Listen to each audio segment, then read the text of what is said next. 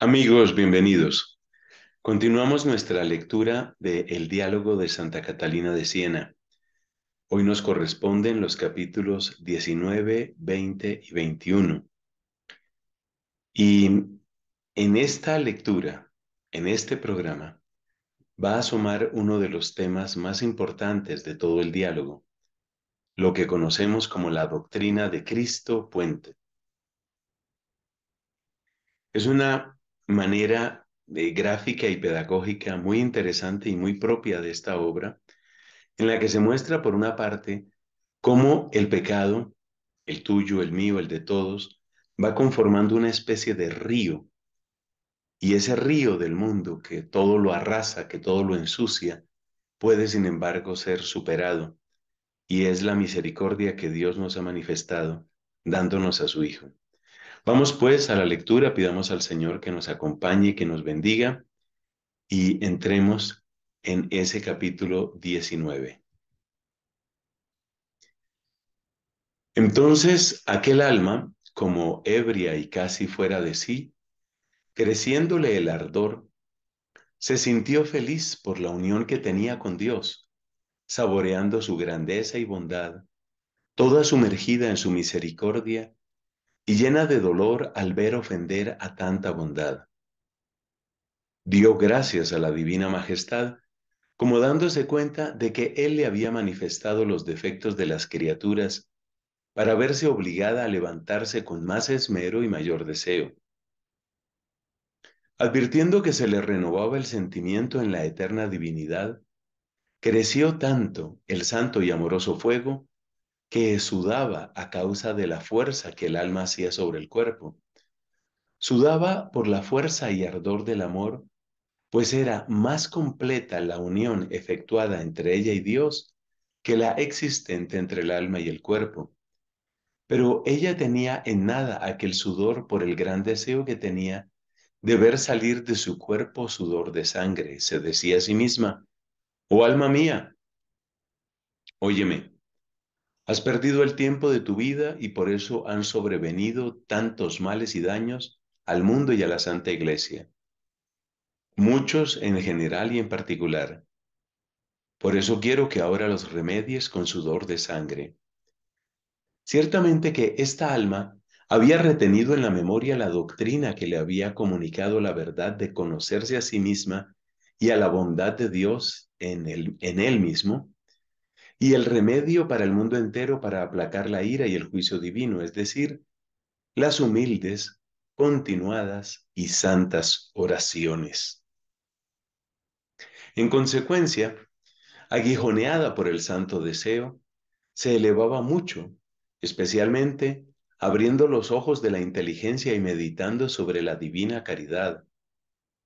Veía y saboreaba la doctrina de que estamos obligados a amar y buscar la gloria y alabanza del nombre de Dios en la salvación de las almas. A esto creía llamados a los servidores de Dios.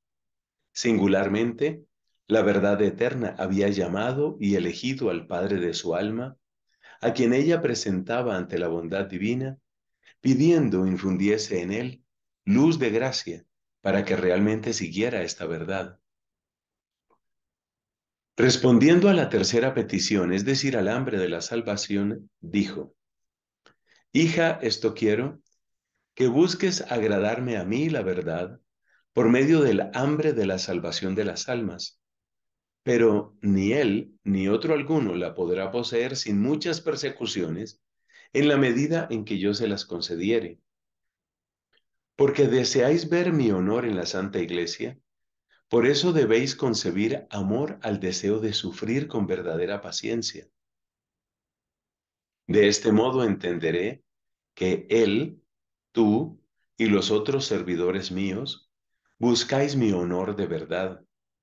Entonces será Él un hijo mío muy querido, y Él y los otros reposarán sobre el pecho de mi hijo unigénito, del que he hecho puente para que todos podáis alcanzar vuestro fin y recibir el fruto de cada uno de los trabajos sufridos por mi amor. Por tanto, sufrid varonilmente. Y puesto que te dije que mi unigénito hijo había sido hecho puente, como efectivamente lo es, quiero que sepáis, hijos míos, que el camino quedó cortado por el pecado y desobediencia de Adán, de modo que ninguno podía alcanzar la vida verdadera. Ninguno me daba gloria del modo que debía, pues no participaba del bien para el que lo había creado, y así no se cumplía mi verdad. La verdad es que había creado a los hombres a mi imagen y semejanza, para que gozasen vida eterna y tuviesen parte conmigo, y para que gustasen de mi eterna dulzura y bondad.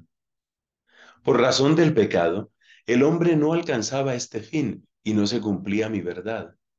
Esto sucedía porque el pecado había cerrado el cielo y la puerta de mi misericordia. El pecado hizo que brotasen espinas y tribulaciones junto con muchas molestias.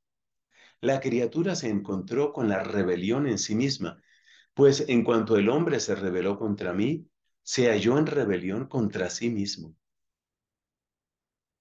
La carne se soliviantó inmediatamente contra el espíritu, perdiendo el estado de inocencia.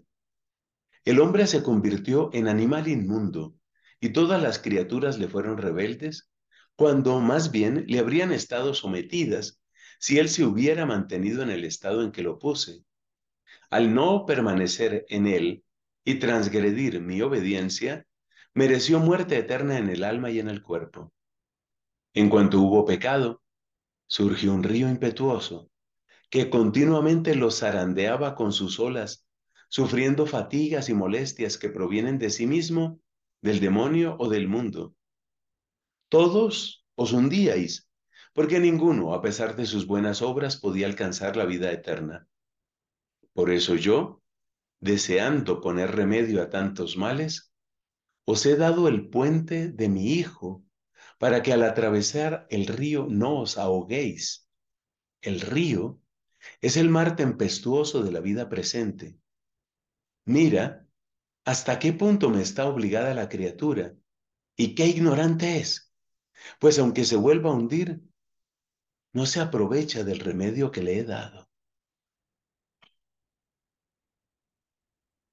Un río, un río que cierra el paso, un río que nos envuelve en sus olas, un río en el que lamentablemente existe la posibilidad de hundirse, ahogarse y perderse. Es la descripción de esa realidad espiritual, pero no por espiritual menos real, sino lo contrario, que conocemos yo creo que muy bien. Y la imagen es tan perfecta porque muestra cómo el obstáculo, de algún modo, es obstáculo para todos y cómo todos ayudamos a que exista también ese obstáculo. Esta enseñanza va a seguirse profundizando en los próximos capítulos. Gracias por estar aquí y que Dios te bendiga.